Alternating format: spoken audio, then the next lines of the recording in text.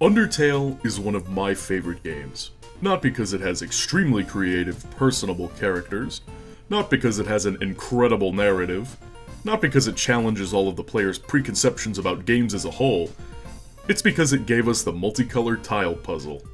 It's the one thing that keeps me coming back after all these years. If you're wondering, what is the multicolored tile puzzle, then you need to go play Undertale. But if you're okay with minor spoilers for a game that's already older than your grandchildren, you can keep watching this video. It's basically a gag. You meet a skeleton that has an affinity for crude, easy-to-solve puzzles. Most of them you can solve with one glance, but this one's different.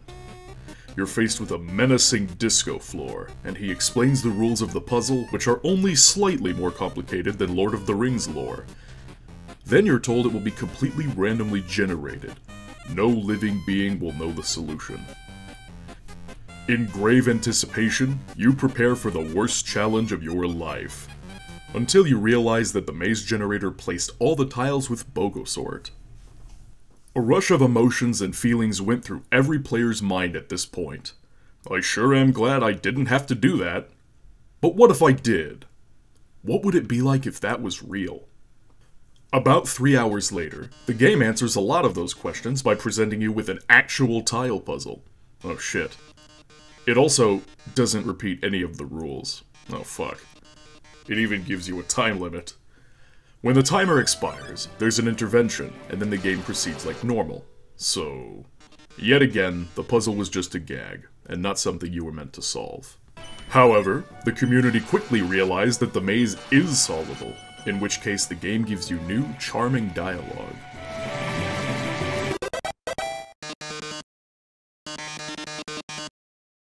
On the other hand, though, it's not randomly generated. It's the same maze on every playthrough. And that's the last mention of it. I immediately craved more. I wanted randomly generated tile puzzles to be a real thing. And I wasn't alone. Way back in 2015, I searched Google, and someone had already done it. I was almost disappointed that I didn't get to do it myself. But whatever, it saved me the trouble. I excitedly clicked on the top result, and it worked. The tile maze was fully implemented. It did have a word of caution, though.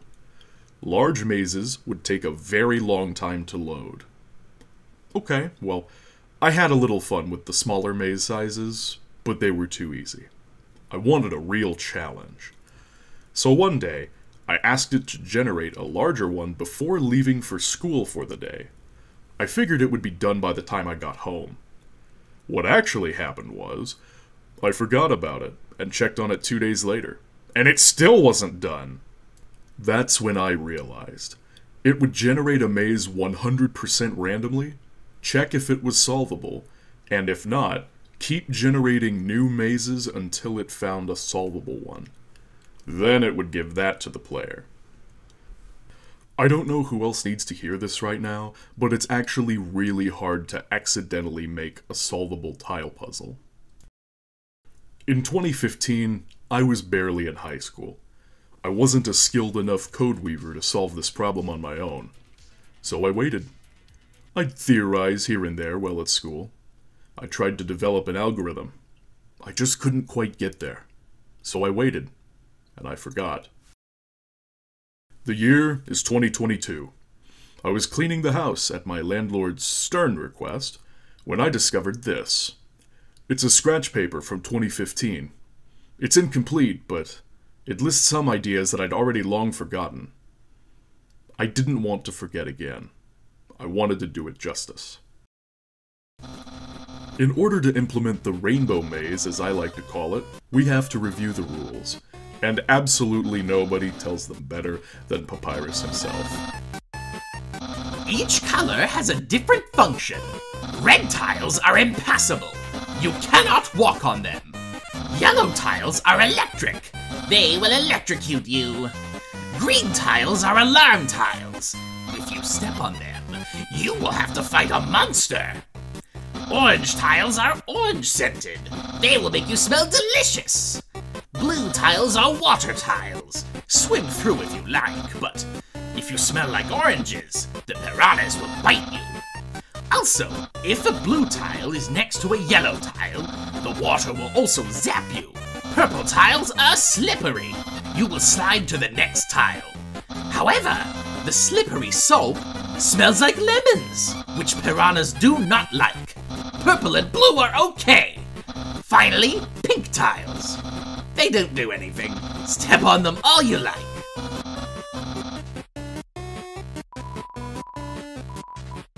Sounds like a crossword puzzle from hell. It's not immediately clear that this will even be any fun or pose any reasonable challenge, but Undertale planted the seed, and it's time for us to water it. We need to make these rules more digestible. There's seven kinds of tile, and I decided to categorize them into safe tiles and unsafe tiles. The safe tiles include pink, orange, purple, green, and blue. The unsafe tiles include yellow and red. But wait a minute, blue isn't always safe. It shocks you if it's touching a yellow tile, and it bites you if you smell like oranges. And what the hell do we do about green tiles? Undertale is an RPG with a turn-based combat system, and that's what Papyrus means by fighting a monster if you step on one. We don't want to add a whole combat simulation, or at least I don't. But here's my rationale. You want to avoid green tiles if you can help it, but you're allowed to step on them, and sometimes required to step on them. So they're safe. I had several ideas on how to treat green tiles, including adding a health system, summoning threats to the maze itself, making them do absolutely nothing. Ultimately, what I did was I added a score system, and stepping on a green tile adds one point. Ideally, you solve the maze with as few points as possible, like golf. I think this captures the spirit well. Anyway, there's a couple other quirks that we have to recreate faithfully. Question. Besides the fact that yellow can shock neighboring blue tiles, what is the functional difference between yellow and red? You might be tempted to say nothing, because you can't pass through either of them. But the one tile puzzle in Undertale gives us some insight. Red acts like a wall that you can't even try to step on, Yellow, on the other hand, lets you get a few steps in before shocking you and sending you back to the tile from whence you came. Big deal, right? But if that tile is purple, you keep sliding backwards. Blue tiles also behave this way when electrified and when the piranhas bite you. This is much different from sliding into a red tile where you are stopped cold. We could write the game logic first and write the random generator later, but without a random generator, how do we get mazes to playtest? So I wrote the random generator first. What's the trick to making a random maze generator that always generates solvable puzzles? You have to generate the solution first, and then fill in the rest. And this is the first place I got stuck, which makes sense as I hadn't written any code yet. What do we do about blue tiles if they're not always safe? First, the solution generator has to keep track of the flavor. Turns out this isn't just game logic, it's puzzle maker logic. If the last tile placed was orange, then we can't place a blue tile, or the path won't be solvable. We actually can't place a blue tile until we've placed a purple tile, so we use a variable to keep track of that. I decided to make the solution generator start from the left, at a random height, and move in a random direction, placing safe tiles until it reached the right side. Excellent. My first crash. I told it not to overwrite tiles that it had already placed, because that seems wasteful. Well, the solution path would snag on itself, since it can move in any direction as it goes. Fair enough, it was time to introduce some new code. If going to snag, don't. It turns out that this is not very trivial. Sure, we can tell it to pick a different direction if there's already a tile where it wanted to go, but it can Tron itself pretty easily. I had to make the immensely difficult decision to allow the solution path to overwrite itself. It wouldn't crash anymore, but there was another problem. The solution paths were really thick and blotchy. That's what you get with purely random movement. Plus, it has to get to the right end of the maze, so purely random movement isn't exactly what we want. We need random weighting. I gave it a 40% chance of moving right, a 25% chance to go up or down respectively, and a 10% chance to go backwards, left. This worked pretty well. The paths were a little too straight, but I decided to come back to that later. Once the solution path is generated, it's time to fill in the rest of the maze with random tiles, safe and unsafe. This is easy, it's just a for loop. We check if the tile is empty, and if so, we place a random color. And this produced underwhelming results. See the problem? I'll explain it like this. Imagine a maze four blocks tall, which, by the way, is the height of the actual puzzle in Undertale. And to keep things simple, let's say the solution path is a straight line. So this is already 25% of the tiles. If unsafe tiles are only allowed in the remaining 75% of the maze, that means there are disproportionately less of them. It's harder to notice in taller mazes, but I wasn't satisfied. When filling outside the solution path, we need to slightly weight unsafe tiles, while still allowing safe tiles to be generated, otherwise you get a bridge. I did something very convenient for myself here. I'd given each tile an ID number, and I ordered them from safest to least safe. So, I just added a random offset to make unsafe tiles more likely. I chose an offset of 0 to 2, because there's only two unsafe tiles, and I left it at that because I liked the results. At this point, however, I got curious about the actual distribution of tiles in the maze featured in Undertale, and I'd completely forgotten that I'd already compiled that data back in 2015. I wanted to make a maze editor anyway, because obviously people would want to recreate the maze from Undertale, so now seemed like a good time to implement it, so that I could use it to recreate the maze from Undertale. There's not much to say about the editor itself, but this is also when I had to come up with a scheme for level codes, to make them shareable. I wanted them to fit in the URL as a query parameter, which meant they had to be URL friendly, so I settled on a modified base64 scheme. There's 10 numbers, plus the 26 letter alphabet, times 2 for uppercase and lowercase letters, and that's 62 possible characters. Throw in two more, and every character can represent one of 64 values, which maps nicely to 6 binary bits. The extra two characters are usually a forward slash and a plus sign, but these don't play as nice in URLs, so I used hyphens and underscores instead. Most base64 encoding schemes are concerned with packing and unpacking 8-bit values across 6-bit characters, but this was already perfect for me. With 7 colors, every tile could be represented with 3 bits, meaning an even 2 tiles per character. I even had room for an eighth kind of tile, which I decided should be the start and finish tile. I made it plaid, did you know Papyrus actually mentions plaid tiles?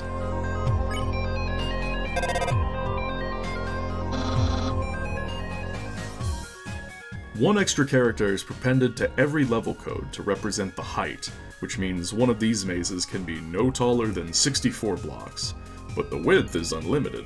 It's calculated by dividing the total by the height. Now, let's say we take the maximum height of 64 and make the maze twice as wide. Now that's a challenge. But that's also a 4097 character level code.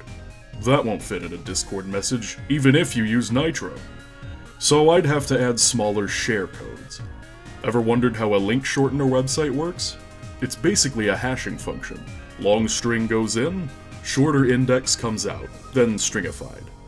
To keep things very simple, I decided to generate the hashes randomly and stuff them in a database.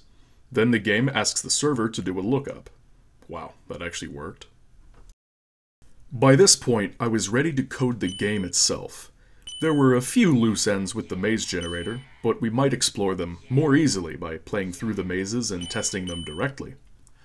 Given how complicated the rules actually are, plus all the nuances discussed earlier, I was expecting this to be really hard. It was not. I've never written more elegant code in my life. When you sit down to write code for player movement, it's tempting to say, okay, we can move in four directions. So here's the code for moving up, and then there's the code for moving left, then the code for moving right, and then down. Here's a lesson for the aspiring programmers. If you're ever writing similar code over and over, there's a better way to do it. In my case, I wrote one function, move, which takes a coordinate offset, a vector if you want to get spicy, adds that to the player's coordinates, and then checks what tile is there.